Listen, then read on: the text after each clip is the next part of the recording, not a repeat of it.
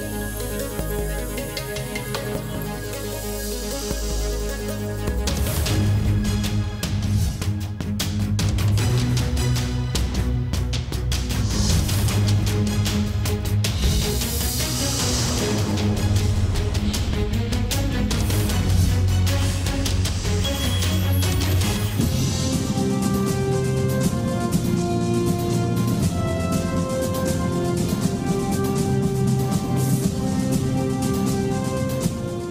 வேந்தரின் உச்சிவேளை பகல் செய்திகளுக்காக காவேரி ஜெகநாதன். முதலில் தலைப்புச் செய்திகள். காவிரி நீர் பங்கீடு மேல்முறையீட்டு வழக்கில் தீர்ப்பு. தமிழகத்திற்கு பதினான்கு புள்ளி ஏழு ஐந்து டிஎம்சி தண்ணீர் குறைப்பு.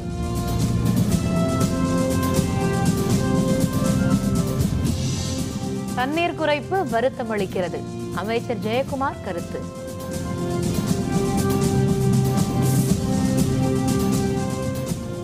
உடனடியாக அனைத்து கட்சி கூட்டத்தை கூட்டவும். திமுக செயல் தலைவர் மு க ஸ்டாலின் வலியுறுத்தல்.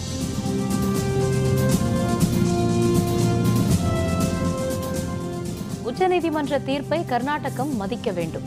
காவிரி தீர்ப்புக்கு தமிழக விவசாயிகள் வரவேற்பும் எதிர்ப்பும்.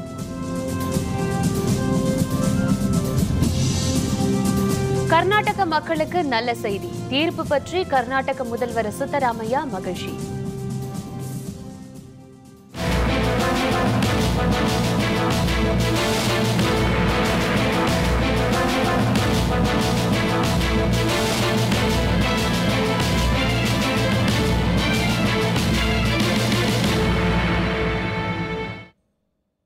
காவிரி நடுவர் மன்றம் ஏற்கனவே தமிழகத்திற்கு ஒதுக்கி உத்தரவிட்ட நூற்று தொன்னூற்று இரண்டு டிஎம்சி தண்ணீரை நூற்று எழுபத்து ஏழு புள்ளி இரண்டு ஐந்து டிஎம்சியாக குறைத்து காவிரி மேல்முறையீட்டு வழக்கில் உச்சநீதிமன்ற அமர்வு இன்று தீர்ப்பு வழங்கியுள்ளது.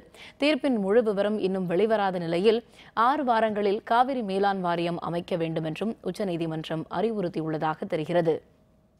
காவிரி மேல்முறையீட்டு வழக்கில் உச்சநீதிமன்ற தலைமை நீதிபதி தீபக் மிஸ்ரா தலைமையிலான அமர்வு இன்று காலை பத்து முப்பது மணியளவில் தீர்ப்பு வழங்கியது.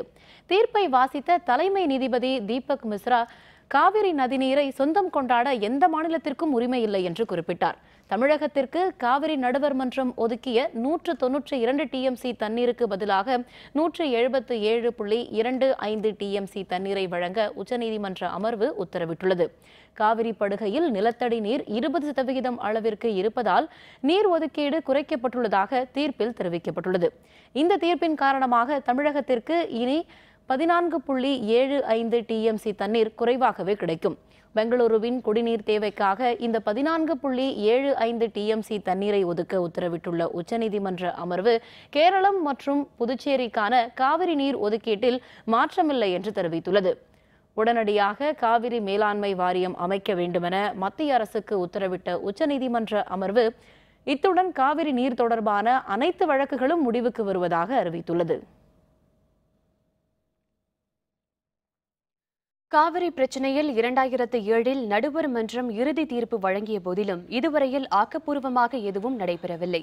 இந்த நிலையில் இறுதியானது என உச்சநீதிமன்றம் அறிவித்துள்ள தீர்ப்பும் ஏமாற்றம் அளிப்பதாக இருக்கிறது. காவிரி நீரை பகிர்ந்து கொள்வது தொடர்பாக தமிழகத்திற்கும் கர்நாடகத்திற்கும் இடையே நீண்ட காலமாக பிரச்சனை இருந்து வந்தது. இது தொடர்பான வழக்கை விசாரித்த நடுவர் மன்றம் இரண்டாயிரத்து ஏழாம் ஆண்டு தனது இறுதி தீர்ப்பை வழங்கியது. இதன்படி காவிரி நீரில் தமிழகத்தின் பங்கு நானூற்று பத்தொன்பது டிஎம்சி எனவும் கர்நாடகம் ஆண்டுதோறும் தமிழகத்திற்கு நூற்று தொன்னூற்றி இரண்டு டிஎம்சி நீர் திறந்துவிட வேண்டும் என்றும் கூறப்பட்டிருந்தது. இதேபோல் மற்ற மாநிலங்களின் பங்கு எவ்வளவு என்பதையும் நடுவர் மன்றம் தெரிவித்திருந்தது. காவிரி நடுவர் மன்ற தீர்ப்பு தங்களுக்கு பாதகமாக இருப்பதாக கூறி தமிழக அரசின் சார்பில் உச்சநீதிமன்றத்தில் மேல்முறையீட்டு மனு தாக்கல் செய்யப்பட்டது. இதேபோல் கர்நாடகம் கேரளம் புதுச்சேரி மாநில அரசுகளும் நடுவர் மன்ற தீர்ப்புக்கு எதிராக மேல்முறையீடு செய்தன.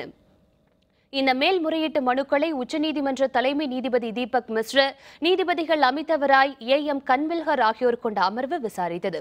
இறுதி விசாரணை கடந்த ஆண்டு ஜூலை பதினொன்றாம் தேதி தொடங்கி செப்டம்பர் மாதம் இருபதாம் தேதி வரை நடைபெற்றது. மேல்முறையீட்டு மனுக்களை தாக்கல் செய்த நான்கு மாநிலங்களின் சார்பில் மூத்த வழக்கறிஞர்கள் அந்தந்த மாநிலங்களின் நலன்கள் உரிமைகளை முன்னிறுத்தி வாதங்களை முன்வைத்தனர். இதைத் தொடர்ந்து காவிரி வழக்கில் அதுவரை நடைபெற்ற வாதங்கள் விசாரணைகள் நீர்வள வல்லுநர்களின் கருத்துக்கள் ஆகியவற்றை எழுத்துப்பூர்வமாக தாக்கல் செய்ய உச்சநீதிமன்ற அமர்வு உத்தரவிட்டது இறுதி விசாரணை கடந்த ஆண்டு செப்டம்பர் மாதம் இருபதாம் தேதி முடிந்த நிலையில் தீர்ப்புக்கான தேதி குறிப்பிடாமல் வழக்கை ஒத்திவைத்த உச்சநீதிமன்ற அமர்வு இன்று இறுதி தீர்ப்பை வழங்கியுள்ளது Today, the allocation of Karnataka, which used to be 270 TMC, has been increased to 284.75 TMC. About 10 TMC of uh, water, which had been found in the uh, uh, reaches of uh, Tamil Nadu, which was for groundwater, has been reckoned, and uh, therefore uh, the uh, the share of Tamil Nadu to that extent has been reduced, and uh, the state of Karnataka has been given additional uh, 10 TMC. Therefore, we are now 284.75. The city of Bengaluru, which was also facing a serious water shortage, has been given 4.75 TMC additionally. So that will also give a lot of relief to the state of Bengal, to the city of Bengaluru. தமிழகத்திற்கு வழங்க வேண்டிய தண்ணீர் அளவை குறைத்த உச்சநீதிமன்றம் வழங்கிய தீர்ப்பு ஏமாற்றம் அளிப்பதாக அதிமுக வழக்கறிஞர் நவநீத கிருஷ்ணன் எம்பி தெரிவித்தார் தில்லி உச்சநீதிமன்றத்தில் செய்தியாளர்களுடன் பேசிய நவநீத கிருஷ்ணன் உச்சநீதிமன்றத்தின் தீர்ப்பை முழுமையாக ஆராய்ந்து தமிழக அரசு உரிய நடவடிக்கை எடுக்கும் என்று தெரிவித்தார் for the for taking into account the groundwater level 10 tmc has been reduced by the honorable supreme court 4.75 tmc water has been given to karnataka hence there is a reduction to the state of tamil nadu uh, i have to read the entire judgment and analyze the judgment. And uh, we hope the tamil nadu government will take appropriate steps Kaveri வழக்கின் தீர்ப்பில் தமிழகத்திற்கு தண்ணீர் குறைப்பு வருத்தம் அளிப்பதாக அமைச்சர் ஜெயக்குமார் தெரிவித்துள்ளார். சென்னையில் செய்தியாளர்களுடன் பேசிய ஜெயக்குமார் காவிரி நீர் பிரச்சனையில் தமிழகத்தின் தரப்பில் அனைத்து வாதங்களும் முழுமையாக முன்வைக்கப்பட்டதாக தெரிவித்தார். காவிரி மேலாண்மை வாரியம் அமைக்க வேண்டும் என்ற உத்தரவை வரவேற்பதாக தெரிவித்த ஜெயக்குமார் தீர்ப்பை முழுமையாக படித்த பிறகு அடுத்த கட்ட நடவடிக்கை பற்றி பேசலாம் என முதல்வர் பழனிசாமி தெரிவித்ததாக குறிப்பிட்டார். காவிரி மேலாண்மை வாரியம் அது அமைத்தது என்பது ஒரு நல்ல ஒரு விஷயமாகத்தான் அம்மாவுடைய அரசு கருதுகின்றது. ஆனாலும் இந்த ஒரு நூற்றி எழுபத்தேழு புள்ளி எழுபத்தஞ்சு டிஎம்சி தண்ணீர் தான் நமக்கு என்று சொல்லும்போது அது வருத்தமளிக்கக்கூடிய ஒன்றாகத்தான் இருக்கின்றது. எனவே இது தீர்ப்பு வந்த பிறகு இது குறித்து என்ன செய்யலாம் என்பது குறித்து அரசு வந்து முடிவெடுக்கும். காவிரி நீர் குறைக்கப்பட்டு தமிழகம் வஞ்சிக்கப்பட்டுள்ள அசாதாரண சூழ்நிலை பற்றி விவாதிப்பதற்காக விவசாய சங்க பிரதிநிதிகளுடன் அனைத்து கட்சி கூட்டத்தை உடனே கூட்ட வேண்டும் என்று திமுக செயல் தலைவர் மு ஸ்டாலின் வலியுறுத்தியுள்ளார். உச்சநீதிமன்ற தீர்ப்பை தொடர்ந்து அறிக்கை ஒன்றை ஸ்டாலின் வெளியிட்டுள்ளார். காவிரி நதிநீர் விவகாரத்தில் தலைவர் கலைஞர் அவர்கள் தமிழகத்திற்கு பெற்றுத்தந்த உரிமைகளை அதிமுக அரசு பறிகொடுத்து விட்டதாக அறிக்கையில் குறிப்பிட்டுள்ள ஸ்டாலின் தமிழகத்திற்கு வழங்கப்பட்ட காவிரி தண்ணீரின் அளவு நூற்றி எழுபத்து ஏழு புள்ளி இரண்டு ஐந்து டிஎம்சியாக குறைக்கப்பட்டிருப்பது அதிர்ச்சி அளிக்கிறது என்று தெரிவித்துள்ளார்.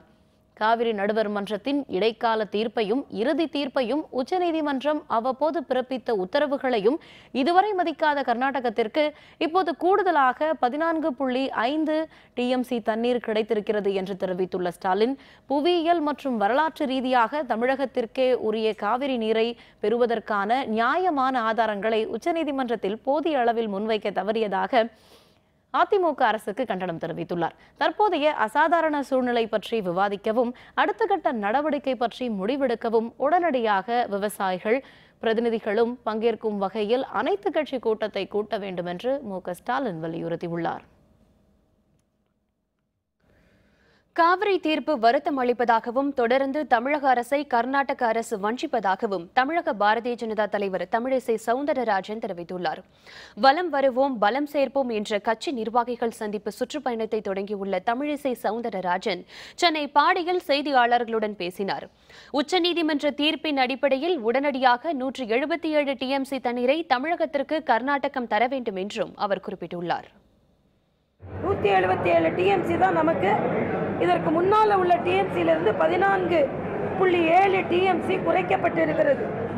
இது நமக்கு வருத்தத்தை தருகிறது. தமிழக அரசும் கர்நாடக காங்கிரஸ் அரசும் உடனே விவசாயிகளுக்கான தண்ணீரை பெற்றுத் தருவதற்காக முயற்சி மேற்கொள்ள வேண்டும்.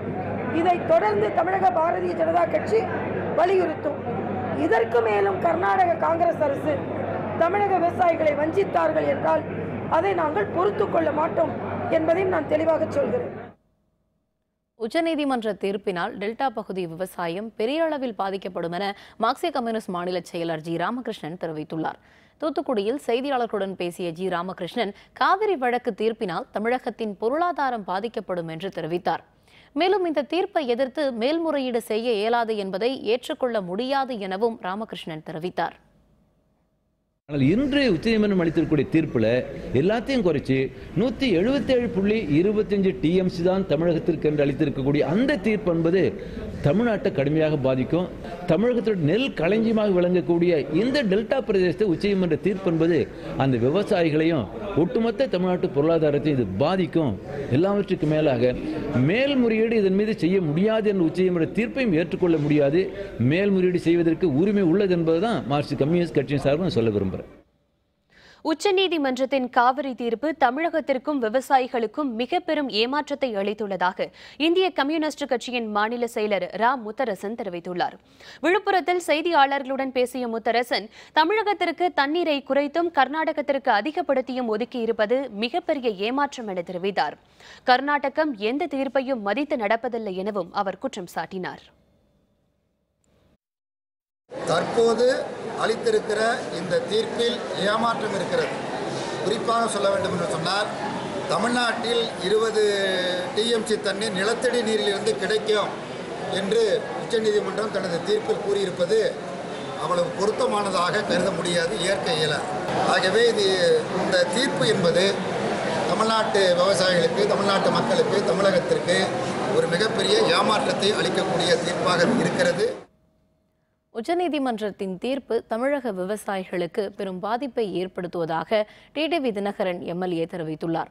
இது தொடர்பாக சுட்டுரையில் அவர் பதிவிட்டுள்ளார். காவிரி வழக்கில் உச்சநீதிமன்றம் வழங்கியுள்ள தீர்ப்பு வருத்தம் அளிப்பதாக தெரிவித்துள்ள டிடிவி தினகரன் இத்தீர்ப்பு தமிழக விவசாயிகளுக்கு பெரும் பாதிப்பை ஏற்படுத்தும் வகையில் உள்ளதாக குறிப்பிட்டுள்ளார். தமிழகத்தில் பாசன பரப்பின் அளவு மற்றும் இருபோக விவசாயம் தற்பொழுது கேள்விக்குறியாகியுள்ளதாகவும் டிடிவி தினகரன் கூறியுள்ளார். காவிரி நதிநீர் பங்கீடு குறித்து உச்சநீதிமன்றம் வழங்கியுள்ள தீர்ப்பு கர்நாடக மக்களுக்கு நல்ல செய்தி என்று கர்நாடக முதல்வர் சித்தராமையா தெரிவித்துள்ளார். கர்நாடக மாநில சட்டப்பேரவையில் முதல்வர் சித்தராமையா பட்ஜெட் தாக்கல் செய்து உரையாற்றினார். அப்போது அவர் காவிரி நதிநீர் பங்கீடு குறித்து உச்சநீதிமன்றம் வழங்கிய தீர்ப்பு காவிரி கரையோரம் வாழும் விவசாயிகளுக்கான நல்ல செய்தி என்று தெரிவித்தார். கர்நாடக மக்களுக்கும் இது நல்ல செய்தி என்று முதல்வர் சித்தராமையா குறிப்பிட்டுள்ளார். முன்னதாக சட்டப்பேரவை வளாகம் முன்பு செய்தியாளர் செய்தியாளர்களுடன் பேசிய அவர் தீர்ப்பின் முழு விபரம் கிடைத்தவுடன் அது குறித்து ஆலோசிக்கப்படும் என முதல்வர் சித்தராமையா தெரிவித்தார்.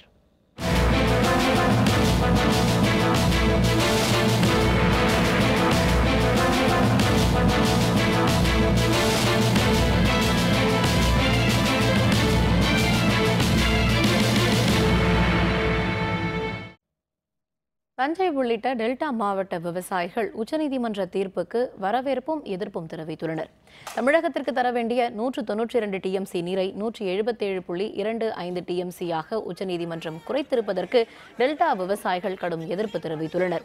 நூற்று தொன்னூற்றி இரண்டு டிஎம்சி நீரே போதாது என்று கூறி வந்த நிலையில் அதையும் குறைத்திருப்பது அநீதி என்று கூறியுள்ள டெல்டா விவசாயிகள் ஆர்ப்பாட்டத்தில் ஈடுபட்டனர். அதேவேளையில் உச்சநீதிமன்றத்தின் இந்த தீர்ப்பையாவது கர்நாடக அரசு மதிக்க வேண்டும் என்று கூறியுள்ள டெல்டா விவசாயிகள் காவிரிக்கு எந்த மாநிலமும் சொந்த கொள்ள முடியாது என்று உச்சநீதிமன்றத்தின் கருத்துக்கு ஆதரவு தெரிவித்துள்ளனர். நூற்றி எண்பத்தி ஏழு டிஎம்சி எழுபத்தி ஏழு டிஎம்சி கொடுத்திருப்பது காவேரி டெல்டா விவசாயிகள் ஏற்கனவே நிறைய மரணத்துக்கு துன்பத்திற்கு ஆளாகியுள்ளார்கள். இது இன்னும் விவசாயிகள் பேரிழப்பு ஏற்பட்டு இன்னும் நிறைய விவசாயிகள் உயிரிழப்பு நேரப்படும் என்பதை தெரிவித்துக் கொள்கிறேன். இந்த எனவே இந்த தீர்ப்பை நாங்கள் வன்மையாக கண்டிக்கின்றோம். ஆயிரத்தி தொள்ளாயிரத்தி இருபத்தி நாலுலாம் எங்களுக்கு ஐநூற்றி எழுபது டிஎம்சி டெல்டாவுக்கு கிடச்சிச்சு. இப்போ அது இரநூத்தஞ்சு டிஎம்சி ஆகி நூற்றி தொண்ணூற்றி ரெண்டு ஆகி நூற்றி எழுபத்தி ஏழு கழுத தெரிஞ்சு கட்டரும்பு ஆயிடுச்சு. ஆனால் இந்த கட்டரும்பை கூட கொடுக்காம நசுக்கிறதுக்கு தான் கர்நாடகா முயற்சி பண்ணுது. காவிரி மேலாண்மை வாரியத்தையும் காவிரி நதி ஒழுங்காற்று முறைகளையும் உடனே அமைக்கணும். இந்த தண்ணியை ஒரு சொட்டு கூட குறையாம எங்களுக்கு கொடுக்கணும். ஏன்னா இது எங்களுக்கு மனிதாபிமானம் சாப்பாட்டு பிரச்சனை குடிக்கிற தண்ணி பிரச்சனை இந்த தீர்ப்பை அமுலாக்கணும்னு நாங்கள் கேட்டுக்கிறோம். காவிரி டெல்டா விவசாயி தொண்ணூற்றி ரெண்டு டிஎம்சி நூற்றி தொண்ணூற்றி ரெண்டு டிஎம்சி கேட்டோம். இதையாவது கர்நாடக அரசும் மத்திய அரசும் எங்களுக்கு அமல்படுத்தணும்னு நாங்கள் கேட்டுக்கிறோம்.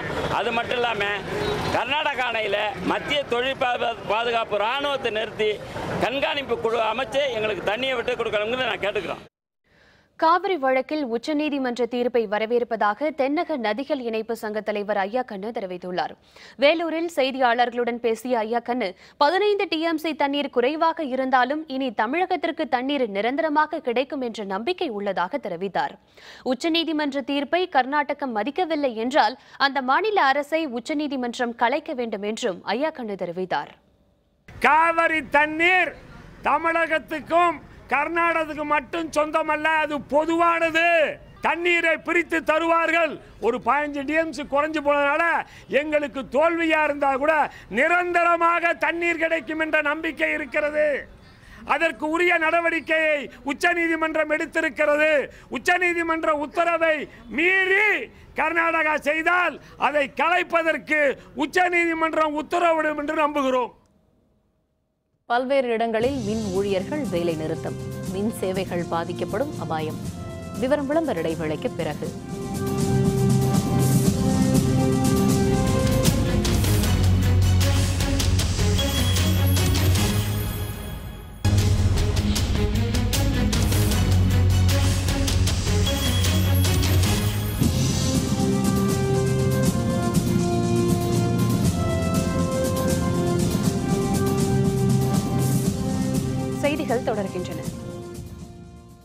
தமிழகத்திற்கான தண்ணீரின் அளவு குறைக்கப்பட்டது பற்றி காவிரி மேலாண்மை வாரியத்தில் முறையிட்டு தீர்வு காண வேண்டும் என இந்திய ஜனநாயக கட்சியின் நிறுவனர் தலைவரான டாக்டர் பாரிவேந்தர் தமிழக அரசை வலியுறுத்தியுள்ளார். இதுபற்றி அறிக்கை ஒன்றை டாக்டர் பாரிவேந்தர் வெளியிட்டுள்ளார். காவிரி மேல்முறையீட்டு வழக்கில் வழங்கப்பட்ட தீர்ப்பு மகிழ்ச்சியையும் அதிர்ச்சியையும் ஒரே நேரத்தில் அளித்துள்ளதாக டாக்டர் பாரிவேந்தர் தெரிவித்துள்ளார். காவிரி மேலாண்மை வாரியம் உடனடியாக அமைக்கப்பட வேண்டும் என மத்திய அரசுக்கு உச்சநீதிமன்றம் உத்தரவிட்டுள்ளது. மகிழ்ச்சியையும் அளி அளித்துள்ளதாக தெரிவித்துள்ள டாக்டர் பாரிவேந்தர் தமிழகத்திற்கான நீரின் அளவை பதினான்கு புள்ளி ஏழு ஐந்து டிஎம்சி அளவிற்கு குறைத்தது அதிர்ச்சியை அளிப்பதாக தெரிவித்துள்ளார். காவிரி நதி தங்களுக்கே சொந்தம் என உரிமை கொண்டாடிய கர்நாடக அரசிற்கு பதிலடி தரும் வகையில் நதியை யாரும் சொந்தம் கொண்டாட முடியாது என்றும் காவிரி நதி இந்தியாவின் தேசிய சொத்து என்றும் தீர்ப்பு வழங்கியது வரலாற்று சிறப்பு வாய்ந்த கருத்துக்களாகும் என்றும் இந்திய ஜனநாயக கட்சியின் நிறுவனர் தலைவரான டாக்டர் பாரிவேந்தர் தனது அறிக்கையில் குறிப்பிட்டுள்ளார். காவிரி நதிக்கு யாரும் உரிமை கொண்டாட முடியாது என்ற உச்சநீதிமன்றத்தின் கருத்து வரவேற்கத்தக்கது என்று விவசாயிகளும் அரசியல் தலைவர்களும் ஒருமித்த கருத்தை உருவாக்கிக் கொள்ள வேண்டும் என்று மன்னார்குடி எஸ். ரங்கநாதன் தெரிவித்துள்ளார். காவிரி நதிநீர் தொடர்பாக முதன் முதலில் வழக்கு தொடுத்தவரான காவிரி டெல்டா பாசன விவசாயிகள் சங்க தலைவர் மன்னார்குடி ரங்கநாதன் தென்னிந்திய நதிகளுக்காக தனி அமைப்பை உருவாக்கி தண்ணீரை பிரித்து வழங்க வேண்டும் என்றார் எந்த மாநிலமும் ஒரு நதியை தன் சொந்தமாக கருத முடியாது என்கிற கருத்தில் ஆரம்பித்து நூற்றி தொண்ணூற்றி ரெண்டு டிஎல்சி அளிக்கப்பட்டிருந்த ட்ரைபுனல் அவார்டை நூற்றி எழுபத்தி ஏழு புள்ளி ரெண்டு அஞ்சு டிஎம்சியாக குறைக்கப்பட்டிருக்கிறது. இதற்கு காரணங்கள் பல இருக்கலாம். இருந்தாலும் என்னவாக இருக்கும்னு அனுமானம் பண்ணுறத விட உங்கள் விஷயத்தையும் நம்ம கேட்டு அதுக்கப்புறம் நம்ம வந்து ரியாக்ஷன் சென்னை அண்ணா அறிவாலயத்தில் திமுக செயல் தலைவர் மு க ஸ்டாலின் செய்தியாளர்களை சந்தித்து வருகிறார். அந்த நேரலை காட்சிகளை இப்பொழுது பார்க்கலாம். உச்சநீதிமன்றத்தில் அவர்கள் முறையாக அணுகாமல் கோட்டை விட்டிருக்கிறார்கள். இந்த சூழ்நிலையில் உச்சநீதிமன்றம் தந்திருக்கக்கூடிய இந்த தீர்ப்பு கர்நாடக மாநிலத்தை பொறுத்தவரையில் அவர்களுக்கு ஒரு அவர்களுக்கு நீதியும் தமிழ்நாட்டு மக்களுக்கு அநீதியும் வழங்கப்பட்டிருக்கிறது. நடுவர் மன்றமாக இருந்தாலும் சரி நடுவர் மன்ற இடைக்கால தீர்ப்பாக இருந்தாலும் சரி இறுதி தீர்ப்பாக இருந்தாலும் சரி இவைகளையெல்லாம் தலைவர் கலைஞர் அவர்கள் முதலமைச்சராக இருந்தபோது பெற்று தந்திருக்கிறார்கள். ஆனால் அந்த உரிமைகளை எல்லாம் இந்த குதிரை பேராட்சி அதிமுக குதிரை பேராட்சி பறி கொடுத்திருக்கிறது. எனவே இந்த அசாதாரணமான சூழ்நிலையில் உடனடியாக ஆட்சி பொறுப்பில் இருக்கக்கூடிய இந்த அரசு அனைத்து கட்சி கூட்டத்தை அனைத்து கட்சி தலைவர்கள் மட்டுமல்ல தமிழகத்தில் இருக்கக்கூடிய விவசாய சங்கத்தினுடைய பிரதிநிதிகளை அழைத்து உடனடியாக ஒரு அவசர கூட்டத்தை கூட்டி இதற்கு என்ன முடிவெடுக்கலாம் எப்படி இதை அணுகுவது என்பது பற்றி உடனே விவாதித்து முடிவெடுக்க வேண்டும். அதற்காக உடனடியாக அதற்கான முயற்சியில் இந்த அரசு ஈடுபட வேண்டும் என்று திராவிட முன்னேற்ற கழகத்தின் சார்பில் நான் கேட்டுக்கொள்கிறேன்.